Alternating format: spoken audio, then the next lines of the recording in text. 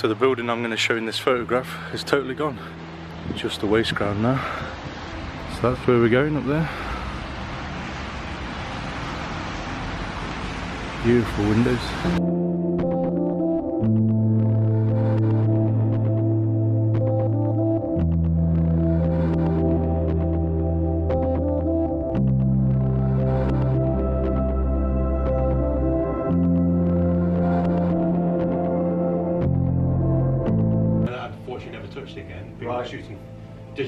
Yeah. um, all these years. Yeah. Um, saw a document, the Vivian Maier documentary. Um, love or hate it. Yeah, that's. Um, thought, wow, you know, this is amazing. The look of the film was just incredible. Um, it beat digital Yeah. straight away as soon as I saw it. It's very I hard to emulate. I've got to get back to it again. Yeah. Richard. I'm Richard. I started in uh, digital, um, actually about four or five years ago. Actually, um, but similar sort of thing. You know, you see stuff around, and uh, more and more it looked like film. It turned out it was film. So um, rather than again emulate emulate it, I decided I wanted to uh, shoot it. But it's been a consuming, overwhelming kind of like thing. I've, I've, I've not just like started to shoot film. I've done everything. I'm, I've like buying cameras. I've got buying books. I've got dotting equipment. I'm like buying a four by You're five. deep. I'm, I'm going. I'm going wet plate photography. I'm, Yeah. I'm like encompassing Yeah. the whole thing because it's just. I'm, I'm even like started doing like salt printing and cyanotype printing. So it's it's become a, a life force Yeah. now. It's just taking me It's good. somewhere, which is It's really good. good. I always went back to the silver print, which is what we're all going to be doing, making today. And there, there are printing methods that are of perhaps a higher archival standard, although it's pretty hard to beat. Like platinum printing, for example, is what like Magnum photo agents prefer their prints to be made. I guess the point I'm trying to make is that um, nothing, nothing beats a silver print for me. Yeah. I- I've done lots of other things and I know it's fun, but when it comes to like, I mean, we're, we're all photographers, and it sounds like we all want to make prints. So the primary concern for me was just making a good print of, because we, it's an image that we want to show people. You want to render it in the best way you can. So I make silver prints. So silver prints have always been the one for me. Um, so today, what we're going to do is we're going to learn how to load film into a Paterson tank. That's what you guys are going to do today. Um, so I've got dummy rolls. We can play around for as long as you like, nice and easy. Ease ourselves into what is potentially the only stressful part of the day. so we'll get our film loaded. Um, what will actually happen is we'll all be in the dark room at the same time, all fumbling around, dropping our film on the floor. Um, I'm going to process some film as well because I've got two rolls that someone wants to pick up on so I'm going to do my film exactly the same as you guys are doing yours. Um, once they're all loaded up, we'll use my grubby little film development C to process that film. Um, we'll get it washed dried. There's a few things to check. One is that these little ball bearings are loose. Sometimes they get all gummed up, especially if you don't wash off. The last part of the process is a wash aid. So like, it's just washing up liquid, basically. It's not really nice washing up liquid. Uh, and it stops uh, drying marks and sort of stabilises the film. But um, it, if you don't wash it off the reels afterwards, they get a bit gunky and sticky. So you just have to make sure they're loose. Uh, I'll go through opening the canister in the dark room, but you take your film out and it's got this cut end on the outside, and then on the inside you've got the, the plastic core, that thing on the inside. On most films, it's actually physically attached through a little hole in the middle. The best way I've found to load film onto these things is in the dark. Take that and cut it at an angle like that. Also, you don't snip the whole thing off. So you end up with a point, like slanted edges, that you can then thread into here. So we always go into the flat side of these two little triangles. You drag your film about halfway around. You can. Let the film drape towards you. Put your thumbs over the entrance. This will all become apparent soon. And then you just shuffle it. I know you've all done this stuff. Like I say, if I can iron out a few creases by telling you every single step, then that's, that's great. I seem to get where you ratchet it so far on and then you get stuck and it doesn't seem to want to go any further. Yeah, so what that is, is um, if you cut it flat, it's these edges. They hit, like, I don't know what it is and I don't know why Paterson designed it this way, but there's, there's something about halfway through that it catches on, on all of these reels. I don't know what put on. It doesn't matter if you've got a little bit hanging out, that's fine, okay. So we've got a waterproof lid, a light-proof lid,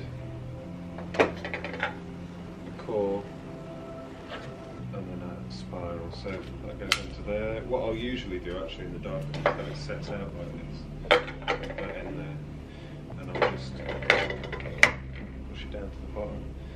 If you're worried about it moving around, you can always put another empty one on top just to keep it down. But they're usually fine if you're not aggressive with it. You should never be aggressive with agitation. Um, this lid is most people's stumbling point because it, it never really wants to go on flat. It has to go on flat and it's really loose. And then you turn it clockwise and it will stop and then brute force and ignorance and click it. Sometimes it takes a bit more brute force than others. Um, lid on good to go.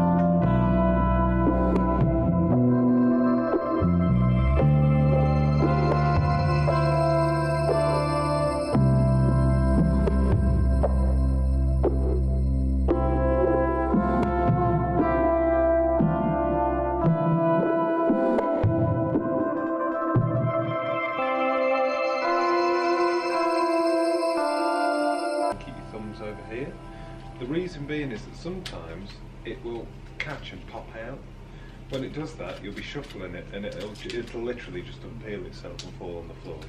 So not only does that stop that from happening, but it allows you to actually f- feel the film and what's going on with it. Don't, don't worry about getting your fingers on it. It doesn't matter. It's going to be. It's going to go through three chemicals and have a ten-minute wash. Okay, I did wonder if Right, yeah. I've never ever touched it for Afterwards. Fear of thumbprints. Yeah, yeah, yeah, totally. Yeah. And, and that's that's good. You Yeah, know, it's good to like it. be careful with it. Respect the name. But I've never really worried too much about it. The, the only time you've really got to be careful, and this comes into the like getting like good practice, is when we actually unfurl it. So what most people do, because it's so exciting pulling the film out, and you go and start looking at everything, and all you're doing is just catching dust Yeah. with, with it. The best way to to avoid dust, it's like I, I think we can all safely say that this isn't a dust-free environment. Yeah, it's a lab. Okay, so the way I keep things dust-free is that precise moment. I'm really careful, and when I hang film into there, you were talking about undoing the thing. So once it's processed, I'll take it out. Once it's had the rinse aid, whip some of the excess water off. Pull this bit out, clip it, and then I'll undo that and let the whole thing drop and then put another clip on the bottom to weight it and then I'll close the door and walk away from it. I don't even look at it. I just get it into the, the dry. Um, whilst we're on the subject scratches, always go with the curve of the film. So when you're loading it, always go the way it wants to go. The reason being is that it's emulsion in. If you went the other way, emulsion out, the chances of scratching it are way higher, especially when it's just come out of all of those chemicals and washes. It's super soft. It's really easy to, to just mark it. We'll label everyone's up. And not only am I going to put our names and our film type on here, but I'll put um, the amount of liquid you need to put in it to cover the film. Okay,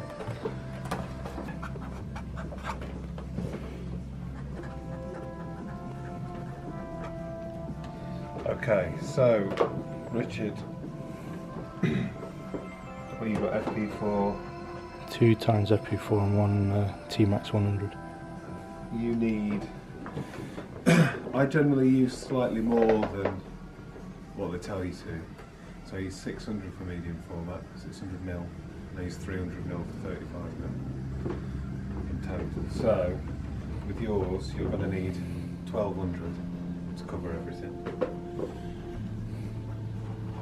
1200 mil, and your time is 11 minutes without it. I'll go through all that in a minute. One thing that I've found really strange is it doesn't tell you anything about the stop and fix times. You know, like on a Massive Dev Chart. Yeah, That's one thing it's standard for everything. Yeah. Because I've never been taught, so Yeah, it's all I It's just like, uh, what, what do I do? I, yeah, I, I make my own times. Yeah, yeah, I don't yeah. know whether I'm over, over fixing it. or Okay, well, we'll go through that.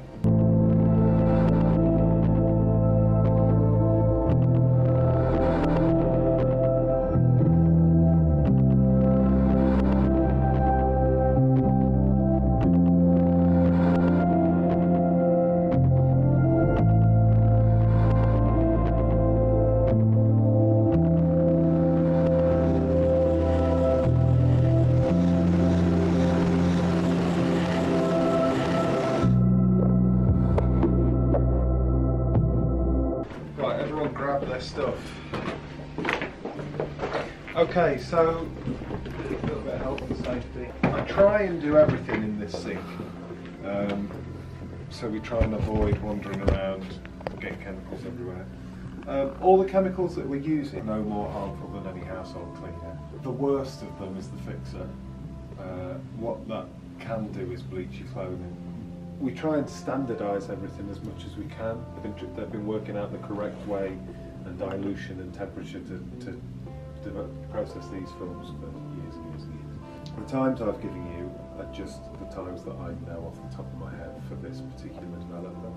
There's loads of different types of development. Some of it is like high acutance, high sharpness.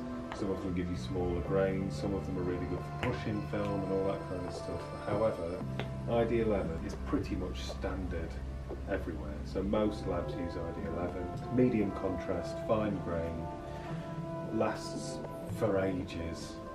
Um, comes as, a, as two powders, part A and B, and you mix them together in warm water. The developer is a uh, is an alkaline, and once we finish developing, we, we need to neutralise this. We pour away the developer. It's the only one we pour away. It's the only one we dilute. Once we've poured it away, we need to neutralise it. The stop bath is the stuff that neutralises, so, so it literally just stops development. That's its only job, really, apart from saving the fixer. If you mix these two together, you get ammonia. So we want to avoid that at all costs. So like cross contamination is a big thing in the dark room. When we're in there printing, you'll notice that each tray has a set of tongs, and those tongs stay with that tray, so we don't swap them around. We try and avoid any cross contamination if we can. Fixer is the thing that permanently fixes that silver halide um, in its development, and it more importantly makes it archivally permanent if you do it for five minutes.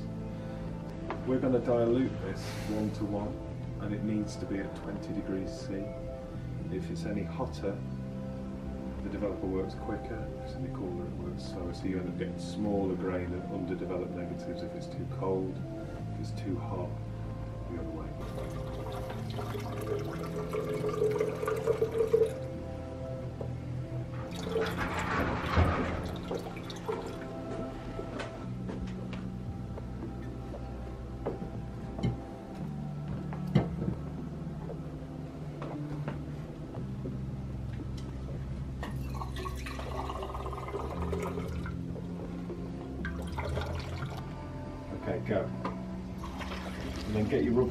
Quick as you can. Push it on. That's it, and then agitate. And by agitate, I mean do this. So always hold the top of the lid. And I'll generally kind of twist as I'm doing it. So I twist the container around. Nice and gentle. So what we're doing, and this might alleviate an issue that you've had, when we twist, what we're doing is pulling the developer around the spool and we're going up and down at the same time. We do this for the first full minute. After we've done the first minute, put it down into the sink and give it a little tap and that should tap any air bubbles off it. If you go give it a little twist and a tap. Okay, lovely. Get your lid on. Do this over the sink. So got a bit more to manoeuvre.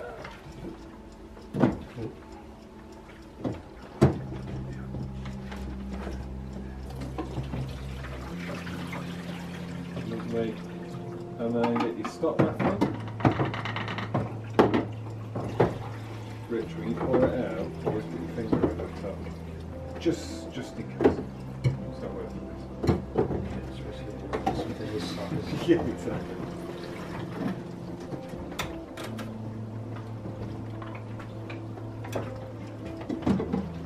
So it's constant agitation with the stopper. It's pretty much done its job already. Straight away.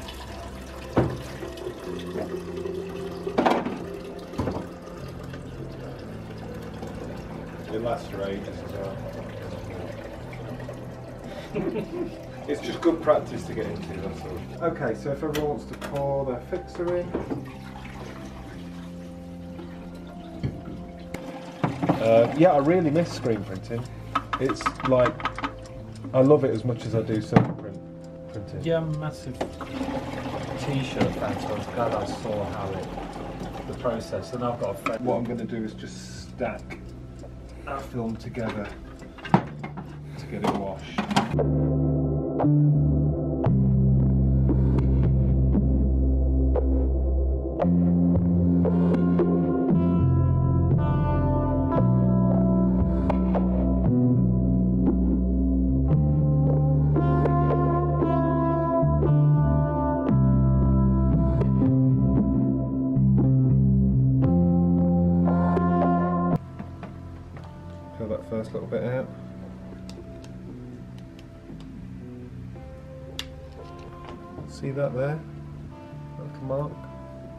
Creases on the very end of it. That's what they do. So that you see how it's slightly foggy as well. Not that we're going to look at it too much once we hang it up, but that's your older film, so it's just got that fog into it. It'll be fine now. So, and then all I'm going to do is crack it open.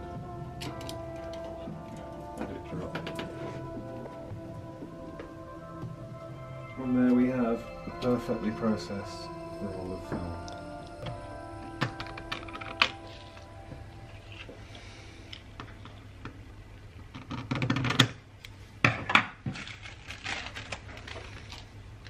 Yeah, I think it just depends. Um, very basic terms. The diffusion enlarger has a bulb pointing sideways usually. The bulb shines into a mixing box, which is generally a box lined with polystyrene, and it bounces the light around and then directs it through to your negative and then through the lens. We go shiny side to the glass, so the emulsion side.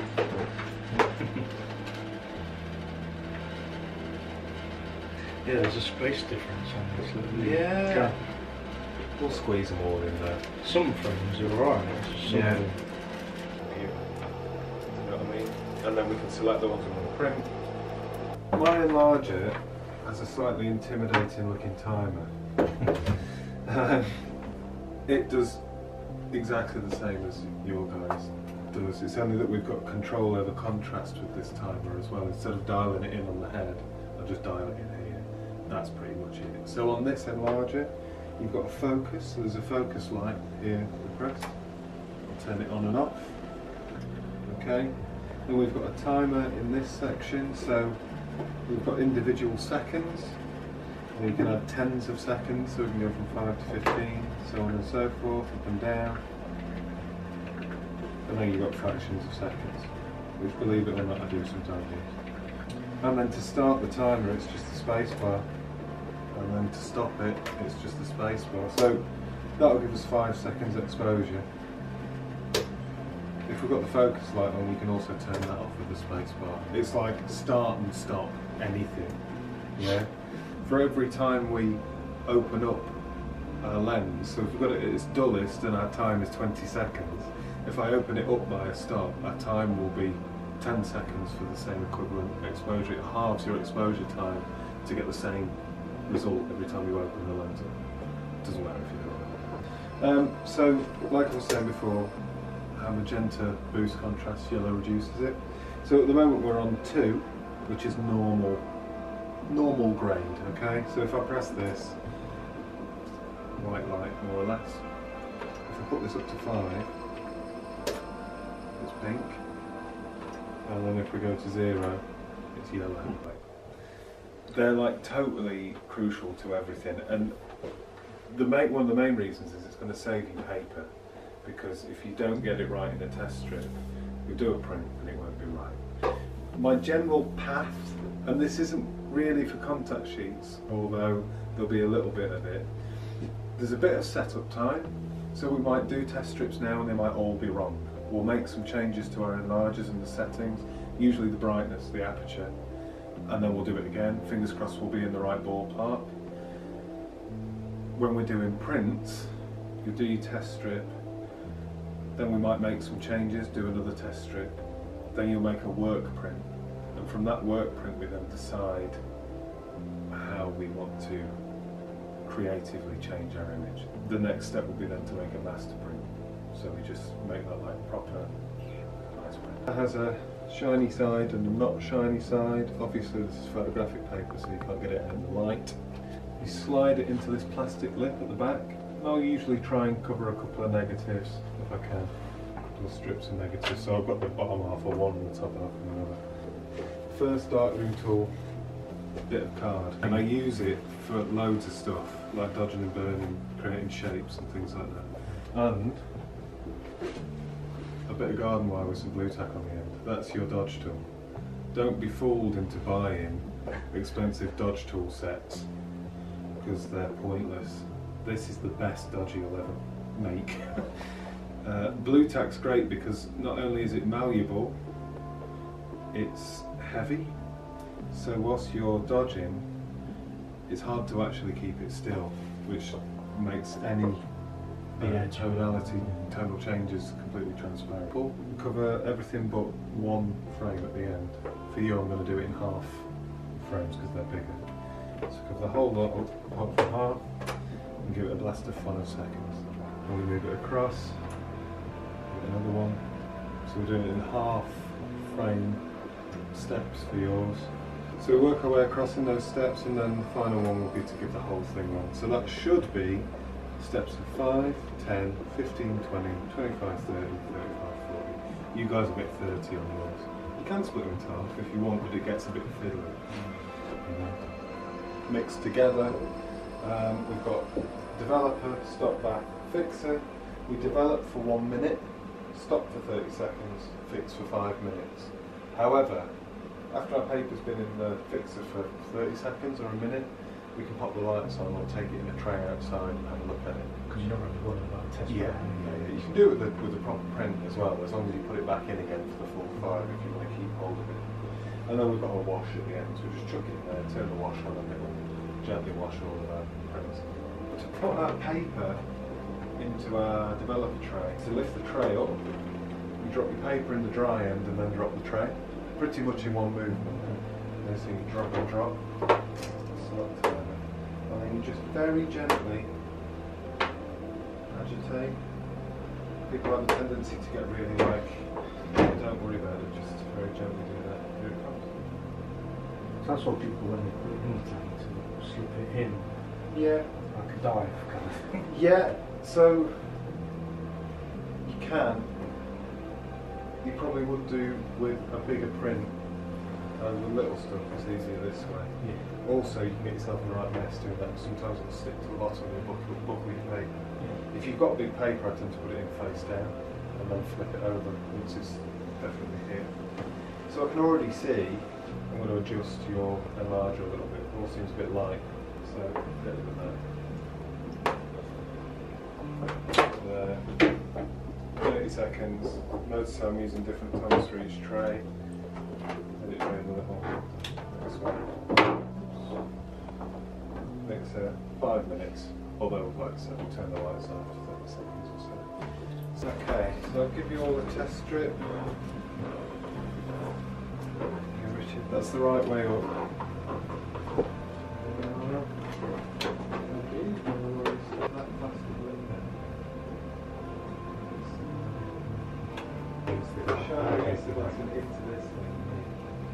So still five seconds, yeah? Uh, yeah, still five seconds. I've just changed the brightness so it can be a little bit brighter than it was before.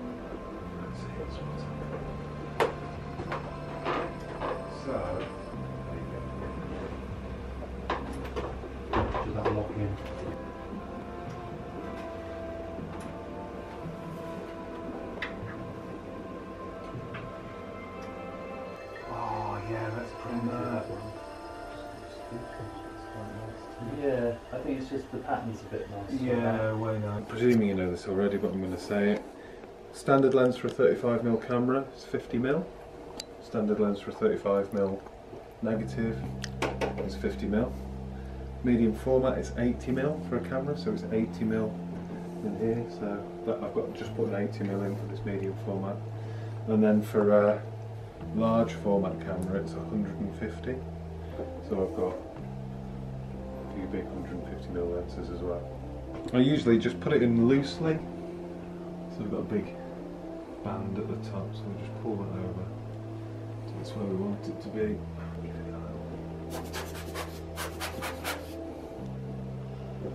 And we slot that in, pull it in, and then close it up. Jobs are good. So all we've got to do is focus. But before we focus, we need to make sure that our easel is printing the size that we want to print. So this will prop our paper in. We're doing 10 by 8 prints. Um, but it's always nice to print with a white border. Like, you were waiting for me to say that? So, like, the, the tendency is to just get as much on your paper as possible. But actually, even with a small print, if you put a, a nice fat border on it, it turns it into a print. Do you know what I mean? Instead of it just being something you get from Jessops, it's it's really nice. And then we just lift your easel up, slide into those stops.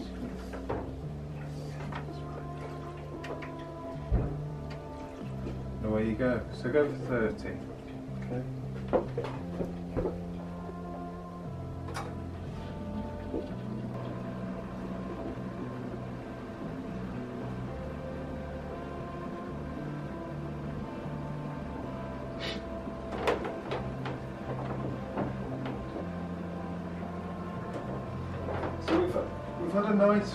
Range of different negatives here. So we've got, like I said before, like Ed, yours is just super low contrast because of the fog. Yeah. So to put quite a lot of magenta in just to pull it back to what is a normal or slightly punchy contrast range.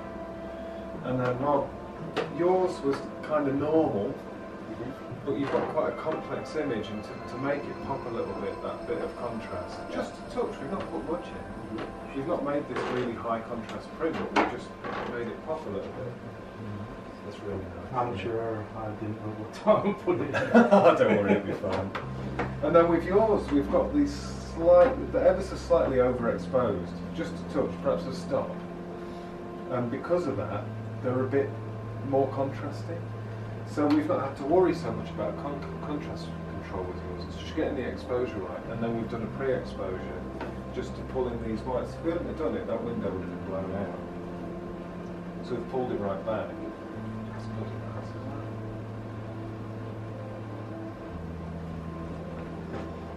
Good job we come to you we know what you're doing. Well, it's pretty cool then, this is. it's all right, isn't it? But once you get there, I mean, honestly, just wait till you turn the light on. Two very nice prints there. So, like I said before, Richard, these highlights on the window Yep. would have basically bled into the border. Would be the same paper white. Paper white doesn't really exist just like you know whiter than white doesn't you know when you do a digital image and you get clipping. Yeah. It's not it's not a thing. So the only time you ever really see it is in, in light bulbs and the sun. So there should never ever be bleed from white into your board, and it should always be tone there.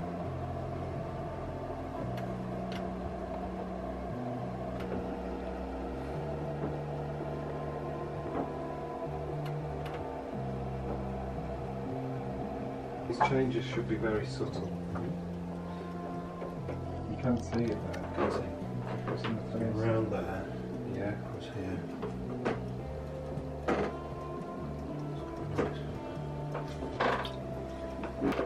Not bad. So just subtle changes. Um, so, thank you all for today. It's been really fun. Thank you. Um, if you use social media of any sort, please do like and share what we do. I know some people already do. If you fancy taking the time to give us like a rating on Facebook and all that kind of stuff, that'd be amazing. Thank you. It's been good. That's been good. Yeah. Thank you very much. I've enjoyed it. That's pleasure. Uh, right, yeah. Congratulations, everyone. Did I print this? Or one there?